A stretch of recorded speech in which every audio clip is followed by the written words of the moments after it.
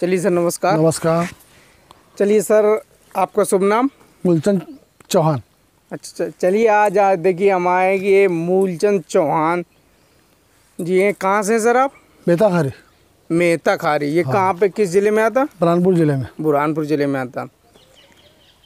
यानी कि मेहता खारी में है तो चलिए एक बार और देखते हैं इनका भी ट्रीटमेंट सिलेंडर उपजाऊ फर्टिलाइज़र से चल रहा है। और जैसे कि ये आपकी केली देख पा रहे हैं हाँ। तो चलिए अंदर आके चलिए देखते हैं। तो इस पे ये बताइए कि इस पे कितने महीने की हो गई होगी केली अपनी? आठ महीने की हो गई सात आठ महीने की हो गई। आठ महीने की हो गई। तो इस पे ऐन होने लगा? हाँ। जनन कितने परसेंट हो गए इस पे? जनन कुछ ज़्यादा परसेंट नहीं हो दस परसेंट के हिसाब से चल पकड़ के चलो। सौ में से दस परसेंट। मतलब अभी आपका लगा। देखा जाए तो मतलब समय के हिसाब से आपका जनन सही हो रहा है। किसी हाँ। किसी के तो पाँच चार महीने में हो गए पाँच पाँच साढ़े पाँच पाँच चार चार। हाँ। छः छः महीने में जनन हो गए हाँ, हाँ, और अपना ये की है तो सात महीने के सात बाद महीने में। हाँ सात महीने के बाद। चलिए चलिए। और चलिए अंदर आके चल के देखते हैं बगीचे थोड़ा सा देख लेते हैं। अच्छा अच्छा ये हुआ है। इसमें फनियों की संख्या कैसी आ रही है? ये तो ये तो पहला है अभी बहुत ज़्यादा आ रही है। अच्छा अच्छा। इक्कीस बाईस के लिए इधर। ऊपर के फन्नी में। ऊपर के भन्नी में। अच्छा पहला हुआ है। इक्कीस बैस इक्कीस बाईस का अच्छा अच्छा इसमें कितने पंजे रख रहे हैं आप? हम नौ पंजे रख रहे हैं। अच्छा नौ नौ। तो ये जैसे कि आप नौ पंजे रख रहे हैं इस पर तो ये बताइए कि जैसे कि ये आप तोड़ते हैं तो तो ये जैसे कि आप ऐसे तोड़ते हैं ना हाँ। तो ये तरीका आपके हिसाब से सही है क्या? हाँ सही है। हाँ? सही है बिल्कुल। और मैं आपको बता दूँ कुछ विशेषज्ञों ने मुझे बताया है कि ये आपका वो जो आप कहाँ से लेते बक दराती से। दराती से ना? हाँ। तो इनको क्या करने का है? आपको दराती से इतना इतना काटने का सिर्फ़। क्यों? क्योंकि जैसे आप यहाँ से तोड़ते हैं हाथ से वो क्या होता है कि जब पौधे पे जब लगता है जो भी मटेरियल तो वो क्या होता है कि एक हफ़्ते खाने के लिए इसकी ग्रोथ रुक जाती है इसकी भरपाई करने के लिए। तो अब नेक्स्ट टाइम के लिए आपको क्या करने का है जैसे आप ये तोड़ रहे हैं भन्निया तो आपको ये दराती लेके ही काटना है। काटना पड़ा है। हाथ से नहीं ठीक चले। हाथ से नहीं तोड़ना है। हाथ से नहीं तोड़ना क्योंकि अगर हाथ से तोड़ते हैं ना ये जड़ से टूट जाता है। है तो ये क्या आएगी जैसे ये तोड़ा। तो इनकी भरपाई करने के लिए आपको कम से कम एक हफ़्ते या डेढ़ हफ़्ते तक के जितना भी जो कुछ भी है इनकी ग्रोथ रुक जाएगी। अगर उतने दिन के लिए अपनी ग्रोथ रुक रही है तो क्या होगा कि अपना जो ये झाड़ है तो वो क्या होने लगेगा कमज़ोर होने लगेगा। इसलिए बोलते हैं कि इनको क्या करिए सिर्फ़ आप दराती से आप से काटे। काटना है।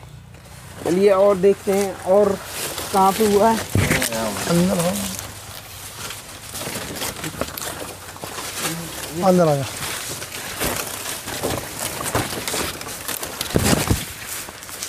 बहुत कम हुआ है। अच्छा अच्छा। ये कैसा है? ये पौधे ये तो वो वो पहले क्या बोलते उसको? H R C M B C M B अच्छा अच्छा। सी एम बी का पौधा है। अच्छा अपने अपने पर भी आया था सी एम बी हाँ। तो ये मतलब सी एम बी कितना कितने झाड़ पेड़ होंगे आपके प्लॉट दो सौ पेड़ होंगे। दो सौ।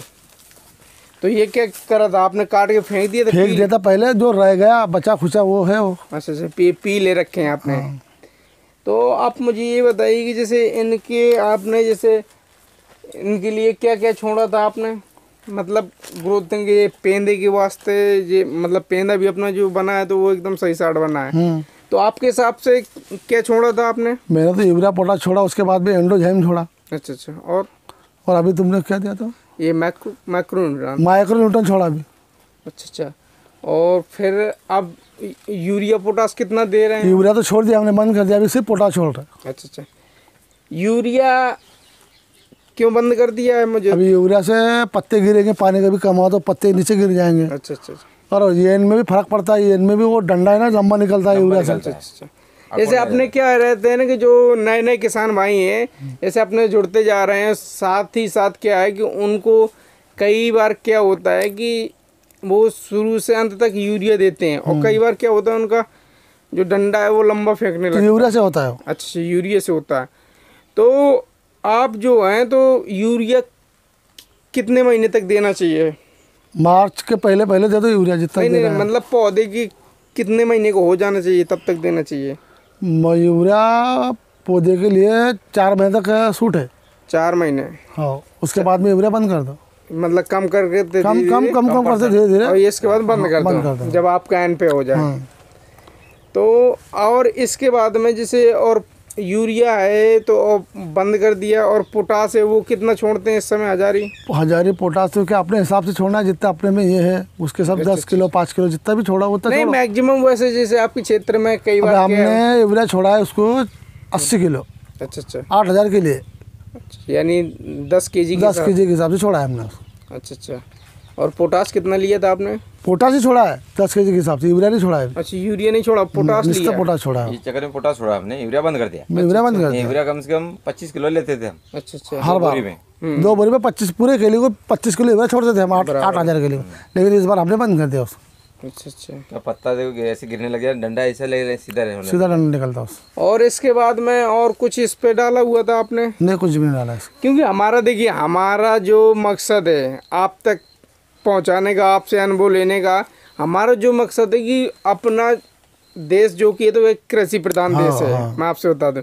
और यहाँ पे क्या है कि लोग इतना केमिकल यूज़ कर रहे हैं केमिकल के तो चल रहा है पूरा देश। कि आए आए दिन खेती अपनी खराब हो रही है। हाँ। तो क्या है कि हमें क्या करने का है कि अपने जो भी किसान भाई हैं नए हैं पुराने हैं उन्हें क्या करना है कि हमें ऑर्गेनिक की ओर लेके लेके जाना है। है? तो हमारा जो मकसद है हमारा मकसद क्या है कि ऑर्गेनिक की ओर बढ़ावा देना। तो नेक्स्ट टाइम से जैसे कि अब आप ये तो अभी आप काफ़ी आधे उम्र निकल चुकी है। अब नेक्स्ट टाइम इस पे पील बाग रखेंगे? हाँ बिल्कुल। अच्छा अच्छा पील बाग रखें।